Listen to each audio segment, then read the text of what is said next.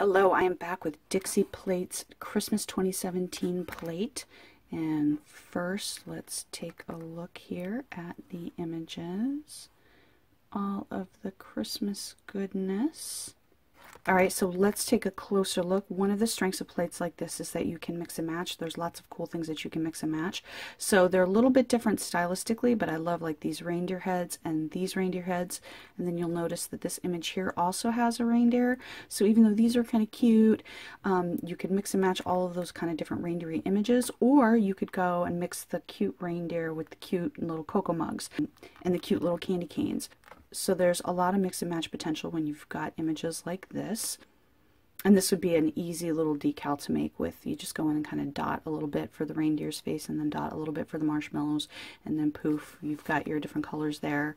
Um, you've got your candy canes, super easy manicure, stamp it in white over a red base, stamp it in red over a white base, poof, you're done always love, I think for mix and match manis, always having a nail with like some cool little words on it. I think that's always super cool. Uh, I love that this is negative space so you can get some pretty um, so you can get some pretty holos in there working if you want to um, stamp it in silver like over a red holo or something like that or you can go in um, you could create a decal with that too so like maybe you've got a red holo and you really want those presents to shine in your red uh, but you want your other things to be other colors you can make that a decal and then stick it over your red holo a couple of different looks for the quote-unquote ugly Christmas sweaters, but of course I don't think they're ugly. I think they're kind of cool. I love Christmas sweaters, so there you go. And there are tons of knitting images out there you can do that with. I love the kind of stylized 1960s tree. And I personally think like that is super cute with this for a mix and match mani. I could also, I could, I would put this up with that because I think that kind of cuteness goes along.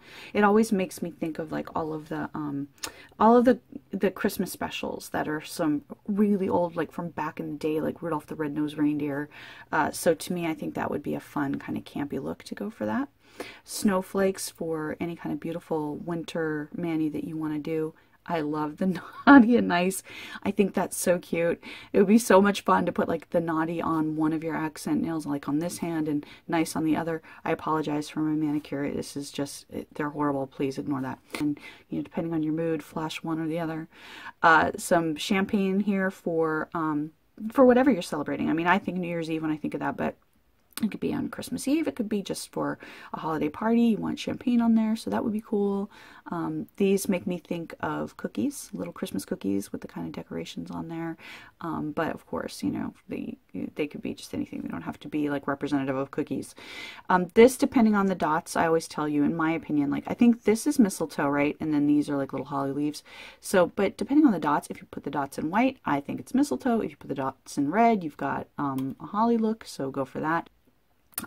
I'm in a gem mood right now because I'm also reviewing her Nail Gems 01 plate. But instantly when I look at this, I think about how you could put rhinestones in the center of these. So you could have this like on um, a green background, stamp it in silver or gold, put little rhinestones, and that would be just beautiful. Some holly. Look at this really ornate gingerbread house. It used to be a tradition. I, I used to make a gingerbread house every year, and just in the past few years, that's just kind of dropped. Gingerbread men of various sizes, so you can have a whole gingerbread family. I guess this is Papa and Mama, and then maybe like baby, although that's a, a real small baby. Collage it, um, it, when you have different sizes to your elements in collage that can be really add a lot of visual interest. A couple different size bows depending on um, what you want to do with them. We wish you a merry christmas. That's beautiful in um, in that scribble tree. Cute little santa with his little thick beard. And i love this with the santa giving um, a, a, present to the little girl. That is so adorable. And I would probably, for me, I could see putting like the Santa on this nail and then the little girl on my smaller pinky. I think that would be really, really cute for a simple little manicure. Or, you know, if you were doing like maybe one of these, a couple of these ones up here on one of the other nails, mixing and matching like that. this cute. He looks like uh, he just is so much fun with his long pointy beard. He reminds me of kind of like a Santa Claus doll. I love that. And then the Santa Claus beard. So if you just want, you know, a little subtle reminder of Santa Claus, little antlers. That's so cute. So what I love for this is, you take your um, your kitty plate or your puppy plate that's got your cats and your dogs, and then you stick little antlers on the top of them. So like like little Max in The Grinch That Stole Christmas, and he puts the little sad antlers on top of him. I love that, and you uh, rest assured that will happen on my nails at some point during the holidays this year. A little Christmas ornament all by itself, and then a few um, snowflakes that you can play around and mix and match with the snowflake one up here, uh, and then a couple of little stars that you can, um, you know, if you want to just stamp those little stars someplace. This would make great little background texture, little bursts of those different places like let's say you want to stamp this and you want to stamp this in green over maybe white and you do a couple of little bursts of these stars over here um, like here, here, here, here, and then stamp this over it. And so you give a little bit more uh, dimension to your stamping by adding that underneath something. Um, or like, okay, so I like that these have snowflakes on them, so you could definitely mix and match them with snowflakes. Or you could do a collage where you've got little bursts of the stars, a couple of little snowflakes on all your other nails, and then just one um, little stocking on one nail. Or, you know, like maybe you've got the naughty here and the nice here or something like that. So play around with that.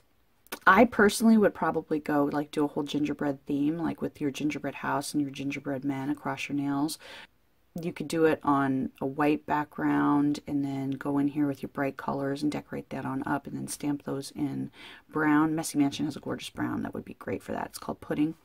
Um, and then, of course, these, I forgot these little streams. Now, these could be like little icicle lights, which are my favorite kind of outdoor lights, I have to admit. Um, or you could make this into like streams of, you know, whatever you want to down your nails to match whatever your theme is. So maybe you've got you maybe you want to do um, Santa on your nails or like this little Santa and her little girl but on the back of other nails instead of dropping them like just down like icicle lights like that maybe you want them to get them like the whole way or most of the whole way to be like stripes in red or green. So you've got this kind of different dimension and color underneath your Santa Claus and your little girl there. Uh, and I think this would be gorgeous as texture under anything. I think it's so cute just under anything. So layer things, mix and match things, play around with things, and have a blast. In terms of size, Dixie Plates full nail images are 2.1 centimeters wide. This one is about 2.5 centimeters tall. And for all of these little goodies down here, here's a shot with a ruler to give you a sense for how big those are. All right, for my stamping test, I'm going to use Sally Hansen Insta-Dri in Plummet. And I'm going to use my clear stamper. Oh my gosh, so cute. So cute. And excellent detail on there. And there are those fine, fine lines on that image. And there you go, great detail. Um, I like to remind you when you're doing fine lines on a clear stamper, be, use a gentle scrape with your um, scraper. And there's that negative space, beautiful. Great transfer. And there's that little girl image. Gorgeous solid space.